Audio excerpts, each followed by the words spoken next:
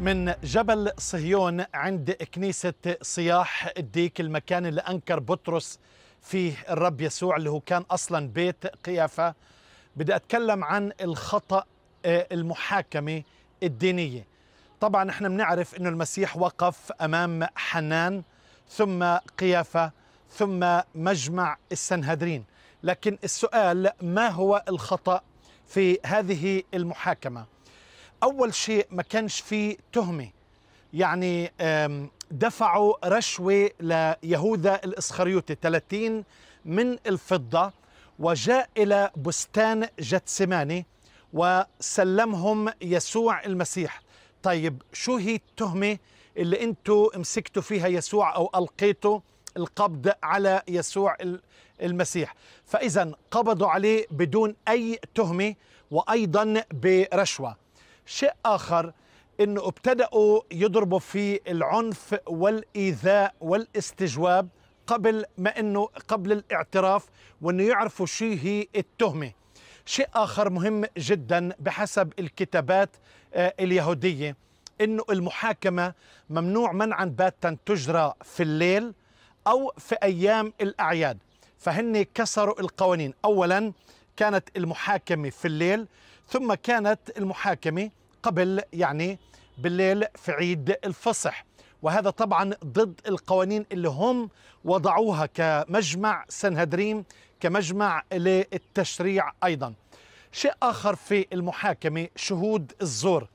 عم الناس عم تشهد عليه في داخل المحاكمة وكل الشهادات متعارضة متناقضة والشيء الآخر أنه كل الشهود كانوا مع بعض.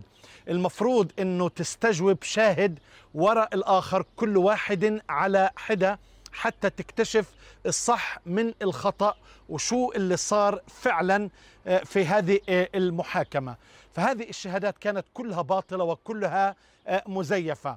ثم طبعا طلب يعني بشكل آخر أنه أنه يسوع يعترف إنه انه هو مجرم أو انه هو ارتكب خطأ. شيء آخر طلب من يسوع إنه مش بس يسمع كل هذه التناقضات وممنوع يفحص الشهود. المفروض إنه كمان يسوع لازم يفحص الشهود اللي شهدوا ضده. فلم تعطى أي فرصة ليسوع المسيح. ثم أحبائي كيف تجرى هذه المحاكمة بهذه السرعة. ثم أحباء هذا مجمع السنهدريم المفروض يكون فيه مصداقية شفافية وضوح واضح أنه رؤساء الكهنة كانوا ظالمين كانوا فاسدين عم بحاكموا القدوس البار. شيء مهم جدا ندركه في هذه المحاكمة تغيير التهم. عم بيسألوا يسوع المسيح. أخيرا رئيس الكهنة استحلف الرب يسوع أنت ابن المبارك أو ابن الله؟ وعندما اعترف يسوع قال فعلا أنا ابن الله. مزق ثيابه فقالوا أوف طب كويس وجدنا التهمة. التهمة هي التجديف. لكن شيء آخر لازم ندرك أنه برضو التهمة غيروها عندما أرسلوا يسوع ليحاكم المحكمة الميدان المدنية أمام بيلاطس قالوا إنه ملك يعني ما جابوش سيرة تهمة التجديف.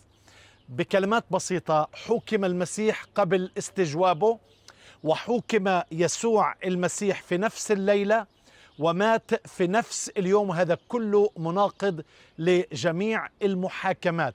فعلا مهزلة المحاكم.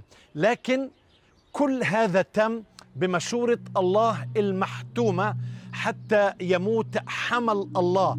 الفصح في دخول الفصح لتتميم النبوات لأنه هو الذي أخذ خطايانا.